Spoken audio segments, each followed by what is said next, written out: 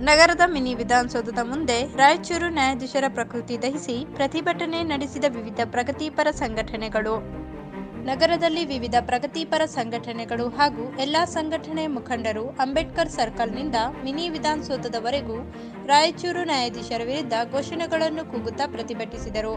ಇನ್ನು ತಾಲೂಕು ಕಚೇರಿ ಮುಂದೆ ನ್ಯಾಯಾಧೀಶರ ಪ್ರಕೃತಿ ದಹನ ಮಾಡಿ ನ್ಯಾಯಾಧೀಶರಾದಂತಹ ಮಲ್ಲಿಕಾರ್ಜುನ ಗೌಡರವರ ವಿರುದ್ಧ ಸೂಕ್ತ ಕಾನೂನು ಕ್ರಮ ಕೈಗೊಳ್ಳಬೇಕೆಂದು ತಹಶೀಲ್ದಾರ್ ಶೋಭಿತಾರವರ ಮೂಲಕ ಉಚ್ಚ ಮುಖ್ಯ ನ್ಯಾಯಾಧೀಶರಿಗೆ ಮನವಿ ಪತ್ರ ಸಲ್ಲಿಸಿದರು.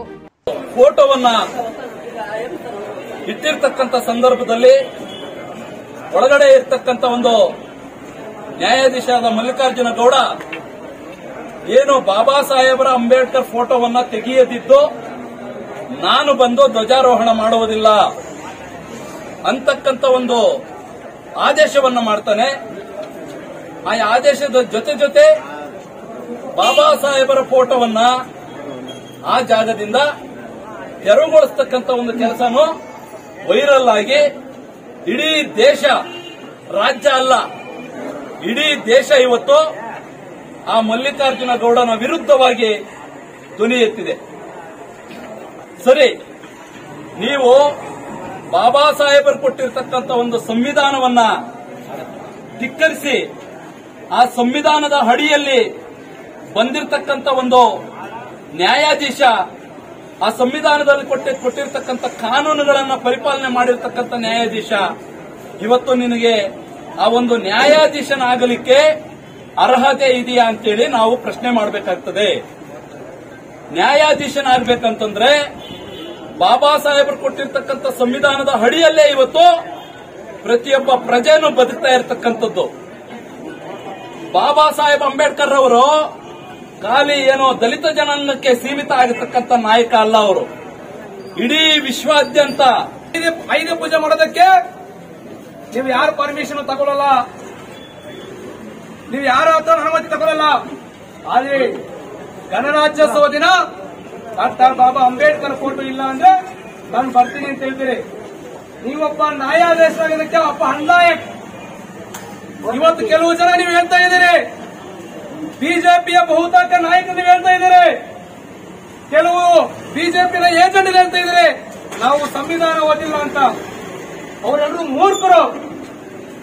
ಪ್ರತಿಯೊಬ್ಬರು ಸಂವಿಧಾನವನ್ನು ಓದ್ಕೊಂಡು ಬಂದಿರೋದು. ನಮ್ಮ ವಿಜಯನ ಹೇಳ್ದಂಗೆ ಕೇವಲ ಇವತ್ತು ಎಸ್ ಸಿ, ಎಸ್ ಟಿ, ದಲಿತ ಜನಾಂಗಕ್ಕೆ ಮಾತ್ರ ಇವತ್ತು ಶಿಕ್ಷಣ ಕ್ಷೇತ್ರದಲ್ಲಿ ಸಂವಿಧಾನ ಇಲ್ಲ.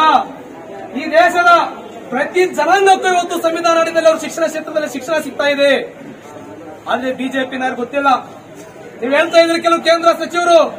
ಬಿಜೆಪಿ ನಾಯಕರ ಕೇಂದ್ರ ಸಚಿವರು, ರಾಜ್ಯ ಸಚಿವರು ಹೇಳ್ತಾ ಇದ್ರೆ ನಾವು ಬಂದಿರೋದೇ ಸಂವಿಧಾನವನ್ನು ತಿದ್ದುಪಡಿ ಮಾಡಕ್ಕೆ ಅಂತ.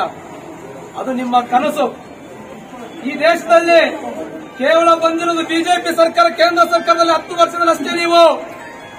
ನೀವು ಸಂವಿಧಾನವನ್ನ ಕೈ ಹಾಕಿದ್ರೆ ಈ ದೇಶದಲ್ಲಿ ಬೆಂಕಿ ಸುಟ್ಟುತ್ತೆ, ಬೆಂಕಿ ಸುಡುತ್ತೆ. ಸಂವಿಧಾನ ಅಂದ್ರೆ ಏನ್ ಅನ್ಕೋದು ನೀವು?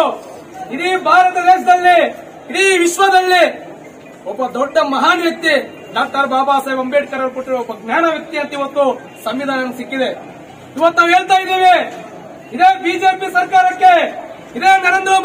ಸರ್ಕಾರಕ್ಕೆ, ಇದೇ ಬಸವರಾಜ ಬೊಮ್ಮಾಯಿ ಸರ್ಕಾರಕ್ಕೆ ನಾವು ನಂಬುತ್ತಾ ಇರುವುದು, ನಾವು ಜೀವನ ಮಾಡ್ತಾ ಇರೋದು ನಿಮ್ಮ ಸರ್ಕಾರಗಳ ಅಡಿಯಲ್ಲಿ ನಾವು ಕೆಲಸ ಮಾಡ್ತಾ ಇಲ್ಲ. ಇವತ್ತು ನಾವು ದೇಶದಲ್ಲಿ ಏನಾದ್ರೂ ನಂಬುತ್ತಾ ಇದ್ದೀವಿ ಅಂದ್ರೆ ಡಾಕ್ಟರ್ ಬಾಬಾ ಸಾಹೇಬ್ ಅಂಬೇಡ್ಕರ್ ನಂಬ್ತಾ ಇವತ್ತು ನಿಮ್ಗೆ ಗೊತ್ತಿದೆ, ಕೇಂದ್ರ ಸರ್ಕಾರ, ಇವತ್ತು ಕೇವಲ ನೀವು ಸಂವಿಧಾನ ತಿದ್ದುಪಡಿ ಮಾಡಬೇಕು ಅಂತ ಹೋಗುವಾಗ ಈ ಸಂವಿಧಾನ ಹೇಳದಲ್ಲಿ ಸುಮಾರು ಒಂದು ವರ್ಷಗಳ ಕಾಲ ದೆಹಲಿಯಲ್ಲಿ ಸಿಂಧು ಬಾಡ ಮೇಲೆ ರೈತರು ಹೋರಾಟ ಮಾಡಿದರೆ ಒಂದು ವರ್ಷಗಳ ಕಾಲ ಸಾವಿರಾರು ಸಂಖ್ಯೆ ರೈತರು ಇವತ್ತು ಮರಣ ಹೊಂದಿದ್ರು ಕೊನೆಗೂ ಗೆದ್ದಿರೋದು ಡಾಕ್ಟರ್ ಬಾಬಾ ಸಾಹೇಬ್ ಅಂಬೇಡ್ಕರ್ ಸಂವಿಧಾನದಲ್ಲಿ होकर एक स्ट्रगल कर रही और जो आने वाले दिनों में ये जितने भी प्रॉब्लम्स संविधान के खिलाफ काम करने वाले हैं उनके खिलाफ हमें सब एक होकर काम करना पड़ता है इंशाल्लाह और एक बड़ी बात क्या है करके बोलते बोले तो? हमारे देश के अंदर जब तक संविधान है, तब तक आपको ये हिंदू, मुस्लिम, दलित, सिख, ईसाई सबका एकता रहेगा। जिस दिन संविधान को खत्म करने की कोशिश कर रही तो एकता खत्म हो जाते एक वक्त था, संविधान आकर हमारे देश के लोगों की रक्षा करता था। आज ये वक्त ऐसा आ गया है, दस साल से जो बीजेपी हुकूमत यहाँ पे राज कर रही है, अब हमें सब मिलकर संविधान की रक्षा करना पड़ रहा है। एक जज जो संविधान को पढ़ के अपने एक बेहतरीन जगह पे जो हिंदुस्तान के चार पाँव बोलती, उसमें आगो एक जुडिशियल एक अदिलिया गति जो कुर्सी के ऊपर बैठ को इंसाफ करना, जो शिल्पा बाबा साहब अंबेडकर जो संविधान बना को ही, उनके खिलाफ फ़ोटो निकाले तो मैं पूजा कर दूँगा उनको बोल को बोला एक बहुत ही डेंजर काम है, बहुत ही हानिकारक है, जो अपने आप को जज बोलने के बावजूद जहन में मनोवादी सोच रख लोग आज काम कर रही। ये दस साल से हमारे देश के अंदर क्या कर रही है? बोल को बोले तो भेदभाव पैदा कर रही। स्कूलों में भेदभाव, तालुक ऑफ़िस में भेदभाव, गवर्नमेंट ऑफिसों में भेदभाव कर लो जा रही आज हमारे मुंबई से पैगाम देती हमें हमें सब एक होको हमारे देश के कानून को बचाना है, हमारे देश की एकता को बचाना है, हमारे आदिलिया को बचाना है, हमारे कॉन्स्टिट्यूशन को बचाना है। और बहुत सारे लीडर्स आको हैं बहुत सारा वक्त लेको हैं जो बहुत दूर दूर से आको हैं उनका सबका मैं शुक्रिया अदा करता हूँ जो मुझे दो लाख से बात करने का वक्त दिए और यह संगठन की तरफ से सबका मैं शुक्रिया अदा करता हूँ नमस्कार ಎಲ್ಲರಿಗೂ ಅಸ್ಸಲಾಮು ಅಲೈಕುಂ. ನಂತರವೂ ಸಹ ನಮ್ಮ ದೇಶಕ್ಕೆ ಯಾವುದೇ ರೀತಿಯ ಕಾನೂನು ಇರಲಿಲ್ಲ ಅದನ್ನು ಆಲೋಚನೆಯಲ್ಲಿ ಇಟ್ಟುಕೊಂಡು ನಮ್ಮ ಬಾಬಾ ಸಾಹೇಬ್ ಅಂಬೇಡ್ಕರ್ ಅವರಾದಂತಹವರು ಸಾವಿರದ ಒಂಬೈನೂರ ಐವತ್ತು ಜನವರಿ ಇಪ್ಪತ್ತಾರರಂದು ಒಂದು ಸಂವಿಧಾನ ಅಂದರೆ ಕಾನೂನನ್ನು ರೂಪಿಸಿದರು ಅದಕ್ಕೆ ಎಲ್ಲರೂ ಆ, ಅದರ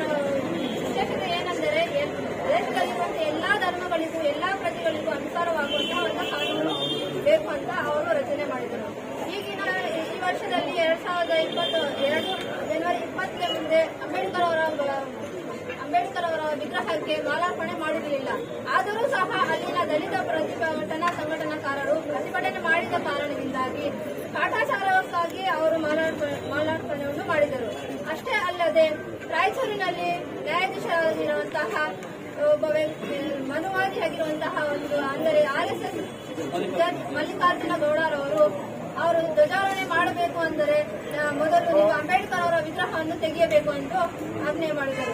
ಅದಕ್ಕಾಗಿ ಅವರು ಈ ಮುಂದಿನ ದಿನ ಅಂಬೇಡ್ಕರ್ ಅವರ ಭಾವಚಿತ್ರವನ್ನು ತೆಗೆಯಬೇಕು ಅಂದರೆ ಮುಂದಿನ ದಿನಗಳಲ್ಲಿ ಏನನ್ನು ಮಾಡಬಹುದು ಅವರು ನಮ್ಮ ಸಂವಿಧಾನವನ್ನೇ ತಿದ್ದುಪಡಿ ಮಾಡಬಹುದು ಅಂತ ಅವರು ತುಂಬಾ ಆಲೋಚನೆಗಳನ್ನು ಇಟ್ಟುಕೊಂಡಿದ್ದಾರೆ. ಅದಕ್ಕೆ ನಾವು ಅವಕಾಶ ಮಾಡಿಕೊಡ್ಬಹುದಾ ಅಥವಾ ಅವ್ರು ಮಾಡ್ದಂಗೆ ನಾವು ಕೇಳ್ಕೊಂಡಿರಕ್ಕಾಗತ್ತಾ? ನಾವೇನ್ ಮಾಡ್ಬೇಕು ಅವಾಗ? ನಮ್ಮೆಲ್ಲರಿಗೂ ಅವ್ರು ಏನ್ ಮಾಡ್ತಾ ಇದಾರೆ ಅಂತಂದ್ರೆ ನಮ್ಮ ಮುಸ್ಲಿಮ್ಸ್ಗೆ, ದಲಿತರಿಗೆ ಅವರವ್ರ ಮಧ್ಯೆನೆ ಗಡ್ಬೆಗಳನ್ನು ಉಂಟು ಮಾಡ್ತಾ ಇದ್ದಾರೆ. ಅವರ ಅವರ ಉದ್ದೇಶವನ್ನು ಬೇರೆ ಇರೋದ್ರು ಸಹ ನಮ್ಮ ನಮ್ಮ ಮಧ್ಯೆ ಜಗಳಗಳನ್ನು ಇಟ್ಟುಕೊಂಡು ನಾವು ನಾವು ಕಿತ್ತಾಡಿಕೊಳ್ಳೋದು ಬೇಡ. ಅದಕ್ಕಾಗಿ ನಾವೆಲ್ಲ ಧರ್ಮಗಳು ಸೇರಿ ನಮ್ಮ ಸಂವಿಧಾನವನ್ನು ಕಾಪಾಡಕ್ಕಾಗಿ ಇವತ್ತು ಎಂತ ಸರ್ಕಾರ ಇದೆ ಅಂತಂದ್ರೆ, ನಮ್ಮ ಮಹಾತ್ಮ ಗಾಂಧಿಯನ್ನು ಮಹಾತ್ಮ ಗಾಂಧಿಯನ್ನು ಕೊಲ್ಲಿದಂತಹ ಸರ್ಕಾರ ಏನ್ ಹೇಳ್ತಾ ಇದೆಯಲ್ಲ? ನಾವೆಲ್ಲ ಇಲ್ಲಿ ಇಲ್ಲೇ ಸೇರಿದ್ದೀವಿ. ಸೇರೋ ಉದ್ದೇಶ ಏನೆಂದರೆ, ಯಾರೋ ಒಬ್ಬ ಅಯೋಗ್ಯ ನಮ್ಮ ಸಂವಿಧಾನ ರಚನೆ ಮಾಡಿರುವ ಬಾಬಾ ಸಾಹೇಬರ ಅಂಬೇಡ್ಕರ್ ಅವರಿಗೆ ಅವಮಾನ ಮಾಡಿದ್ದಾರೆ. ಇವರು ಸೂತ್ರಧಾರಿ ಮಾತ್ರ. ಇವರು ಹಿಂದ್ಗಡೆ ಯಾರ್ಯಾರಿದ್ದಾರೆ ಅವ್ರಿಗೆಲ್ಲ ನಾವು ಹಿಡಿಬೇಕು. ಹಿಡಿದು ಈ ದೇಶದಿಂದ ನಾವು ಒದ್ದು ಓಡಿಸ್ಬೇಕು ಅವಾಗ ಅವ್ರಿಗೆ. ಆವಾಗ ದೇಶದಲ್ಲಿ ಸಂವಿಧಾನ ಉಳಿಯುತ್ತದೆ ಮತ್ತೆ ನಿಮ್ಗೆ ನಮ್ಗೆ ಒಂದು ಒಳ್ಳೆ ಫ್ಯೂಚರ್ ಆಗತ್ತೆ. ನಾವು ವರ್ಷಾಂತಗಳಿಂದ ನೋಡ್ತಾ ಇದ್ದೀವಿ, ನಮ್ಮ ದೇಶದಲ್ಲಿ ಜಾತಿವಾದ ಜಾಸ್ತಿ ಇದೆ. ಇಲ್ಲಿ ಜಾಸ್ತಿವಾದ ಜಾಸ್ತಿವಾದ ಜಾಸ್ತಿ ಇದೆ. ಇಲ್ಲಿ ದಲಿತರ ಮೇಲೆ ಬಹಳ ಅನ್ಯಾಯ ಮಾಡ್ತಾ ಇದ್ದಾರೆ ಇವರು, ದೌರ್ಜನ್ಯ ಮಾಡ್ತಾ ಇದ್ದಾರೆ. ಕೇಳೋರು ಯಾರು ಇರ್ಲಿಲ್ಲ. ನಮ್ಮ ಬಾಬಾ ಸಾಹೇಬ್ ಅಂಬೇಡ್ಕರ್ ಬಂದ್ರು. ಬಂದು ಜಾತಿವಾದದ ವಿರುದ್ಧ ಇವರು ಹೋರಾಡಿದ್ರು. ಹೋರಾಡಿ ಒಂದು, ನಮ್ಮ ನಮ್ಮ ದೇಶಕ್ಕೆ ಒಂದು ಒಳ್ಳೆ ಸಂವಿಧಾನ ಕಟ್ಟುಕೋ ಕೊಟ್ಟರು ಈ ಮನುವಾದಿಗಳಿಗೆ, ಈ ಜಾತು, ಜಾತಿವಾದಿಗಳಿಗೆ ಈ ಸಂವಿಧಾನ ಇವತ್ತಿಗೂ ಕೂಡ ಅರ್ಥ ಆಗ್ತಾ ಇಲ್ಲ. ಅವರಿಗೆ ಈ ಸಂವಿಧಾನ ಇವತ್ತಿಗೂ ಕೂಡ ಅವರ ಅಡ್ಡ ಆಗ್ತಾ ಇದೆ. ಅದಕ್ಕೋಸ್ಕರ ಅವ್ರು ಏನ್ ಮಾಡ್ತಾ ಇದ್ದಾರೆ? ಒಳ್ಳೆ ಒಳ್ಳೆ ಹುದ್ದೆಯಲ್ಲಿ ಬಂದು ಕೂತ್ಕೊಂಡು ನಮ್ಮ ಸಂವಿಧಾನವನ್ನು ಒಡೆದು ಒಡೆಯಕ್ಕೆ ಅವರು ಪ್ರಯತ್ನ ಪಡ್ತಾ ಇದ್ದಾರೆ. ಅಂತ ಸಮಯದಲ್ಲಿ ನೀವು ನಾವು ಏನ್ ಮಾಡ್ಬೇಕು? ನಾವು ಮನೇಲಿ ಕೂತ್ಕೊಂಡು ಊಟ ಊಟ ಮಾಡ್ಕೊಂಡು ಇರ್ಬೇಕಾ? ಇಲ್ಲ. ಹೋರಾಟ ಹೋಟ ಹೋರಾಟ ಮಾಡ್ಬೇಕು. ಬರೀ ನಾವು ದಂಡ ಎತ್ಕೊಂಡು ಇಲ್ಲಿ ಬಂದು ಧಿಕ್ಕಾರ ಕೂತೀವಿ ಅಂದ್ರೆ ಆಗೋದಿಲ್ಲ. ಮುಂಭಾಗಲಿನ ದಲಿತ ನಾಯಕರು ಇನ್ನ ಎಲ್ಲಿದ್ದಾರೆ? ನಮ್ಮ ದಲಿತ ಬಂಧುಗಳು ಎಲ್ಲಿದ್ದಾರೆ? ಇಷ್ಟು ಜನನೇನ? ಇವತ್ತು ನಮ್ಮ ಬಾಬಾ ಸಾಹೇಬ್ ಅಂಬೇಡ್ಕರ್ ಫೋಟೋ ಮೇಲೆ ಅವ್ರು ಕೈ ಹಾಕಿದ್ದಾರೆ. ಎಲ್ಲಿ ಹೋಗಿದ್ದಾರೆ ನಮ್ಮ ಜನ? ಎಲ್ಲರೂ ಬಂದು ಇಂಥ ವಿಷಯದಲ್ಲಿ ಮುಂದೆ ಬಂದು ನಿಂತ್ಕೊಂಡು ಈ ಜಾತಿವಾದವನ್ನು ವಿರೋಧ ಹೆಚ್ಚಿನ ಸುದ್ದಿಗಳಿಗಾಗಿ ಲೋಕಲ್ ನ್ಯೂಸ್ ಯೂಟ್ಯೂಬ್ ಚಾನಲ್ ಅನ್ನು ಸಬ್ಸ್ಕ್ರೈಬ್ ಮಾಡಿ.